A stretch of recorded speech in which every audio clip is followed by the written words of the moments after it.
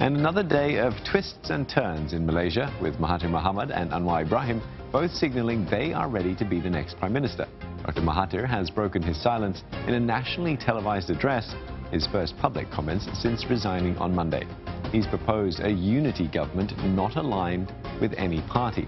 Not long after that, Anwar Ibrahim declared he had the backing of parties from his coalition to be a Prime Minister.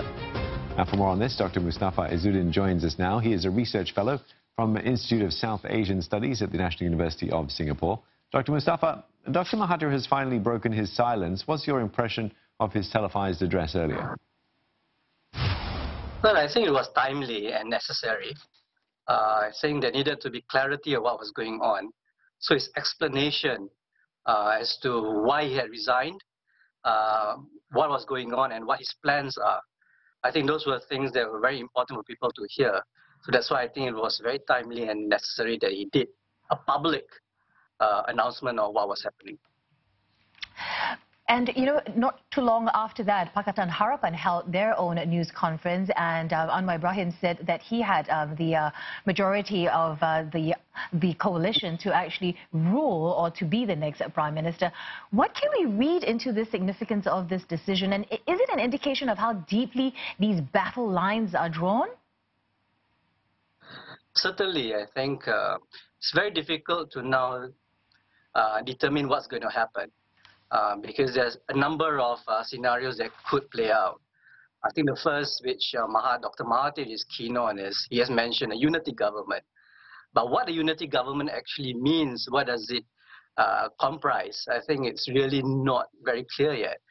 does he mean a, a, government that cuts across uh, the different political divides across the political spectrum?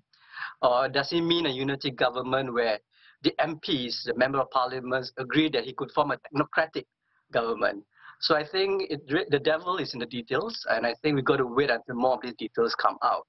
So that's one scenario. Another scenario is, of course, uh, he wants to form a government, whether it's, whether it's by unity or not, a sort of a technocratic government where government that rises above politics and just focuses on governing the country. Uh, and of course, the third scenario, which we have just heard, uh, is that uh, Anwar, Anwar Ibrahim has the backing of Pakatan Harapan, what's left of Pakatan Harapan, uh, and form a minority government. And uh, so we have all of these scenarios playing out. And of course, there's another scenario as well that if there is no majority in in uh, in parliament, they could they could I mean there could be a snap election uh, so I mean, all of these scenarios are now on the table, and we just have to wait which of these scenarios will be picked. In his speech, Dr. Mahathir did say that he would only work with members who leave UMNO. Do you think he has support enough or enough support from individual UMNO MPs who might be willing perhaps to jump ship to support him as staying as PM?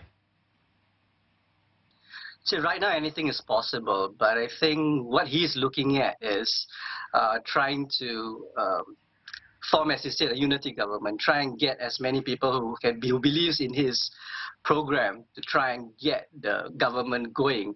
Uh, because as you know, I mean, they have been in uh, government for now less than two years, uh, but uh, they need to be delivering on the promises that they've made to the Malaysian people. And and he has also mentioned in his televised address that uh, there are urgent pressing needs to do with the economy, to do with what's happening with the coronavirus outbreak and how that's affecting Malaysia, so on and so forth. So his, uh, his program right now uh, is to focus on governing the country rather than uh, focusing on all his party politics. Um, do you know, uh, Mr. Anwar says that he has the backing of the remaining parties uh, to uh, form yeah. these uh, coalition, correct? Do you think it will be enough yeah. to convince the king that Anwar has the majority support? And do you think he can command the majority in parliament? I think right now his Anwar's challenge is really to get uh, a coalition that is uh, that, can, that can provide him with a simple majority in parliament. Uh, as Pakatan Harapan, they have the largest number of seats, but you need at least 112 seats to command a majority in parliament. So I think his, his, his challenge right now is to try and get the other uh, members of parliament uh, who may jump ship or who may at this point not align themselves with any coalition to get them onto the Pakatan Harapan bandwagon so that he can then form a majority, uh, uh, to, get a majority in parliament and form the government. Now, if he can't do that, then of course there is the possibility of a minority government. Minority government is of course possible because Pakatan Harapan has a major has um, is the largest party in uh, in parliament. But of course, minority governments tend to be unstable. Uh, so we'll just have to see whether the king um, agrees to this minority government or he feels that Pakatan Harapan uh, has, you know, they have to widen uh, their reach and get the get the MPs necessary to form a majority, uh, to form to get a majority in parliament. Thank you so much for sharing your insights with us, Dr. Mustafa. Dr. Mustafa Izzuddin, Research Fellow from Institute of South Asian Studies at the National University of Singapore.